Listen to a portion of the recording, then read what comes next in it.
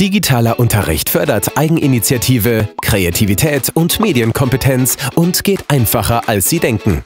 Wikipedia weiß alles? Nicht ganz. Welche Inhalte noch fehlen, erfährt man unter Wikipedia Artikelwünsche.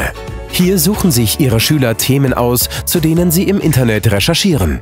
Die Ergebnisse können Sie mit Word, PowerPoint oder Excel ausarbeiten und präsentieren. Dabei lernen Sie auch gleich, wie wichtig Quellenangaben sind. Sie prüfen die Recherchen und die Schüler laden ihre Artikel bei Wikipedia hoch. Toll, wenn die eigenen Texte dann im Netz zu finden sind. Das macht stolz. Nutzen Sie die Möglichkeiten des Internets und unsere multimedialen Angebote. Cornelsen. So digital, wie Sie es wünschen.